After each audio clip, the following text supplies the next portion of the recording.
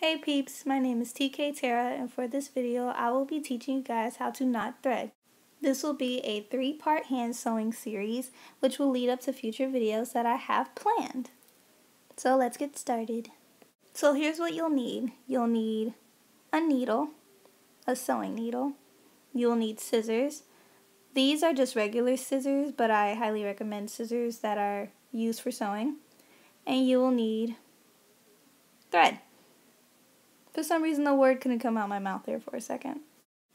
So ignore the fabric in the back, but what you'll need to use first is the needle. If I could just get it to focus. Oh, I got to focus, yay. Okay, so you'll need the needle and you'll also need the thread.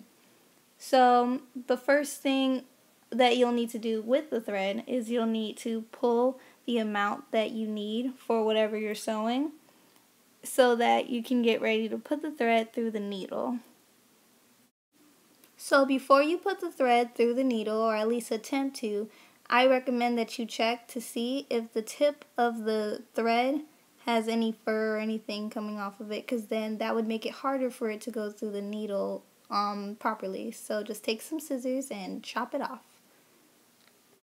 So now that we've chopped off the furry tip of the thread, it'll make it easier for us to stick it through the needle hole. So as you can see, it'll still take a few attempts, but eventually you'll get it. Now I'm combining both pieces of thread together so that I can find out where I want to cut it and cut it off. And now I'm cutting off the piece that is attached to the rest of the thread. And after I do that, I'll pull them together so that they'll be even so that I can get ready to tie the knot. It is a lot easier to tie the knot when you put the pieces of thread together and then you kind of like twist them together, you know. It makes it a lot easier to get the knot together. So now what I'm just doing is I'm holding the thread and I'm about to wrap it around my finger. And then when I do so, I make sure that there's a little bit of thread and then I twist it into each other and then use my nail to pull it all the way to the end of the thread. This will allow a knot to form.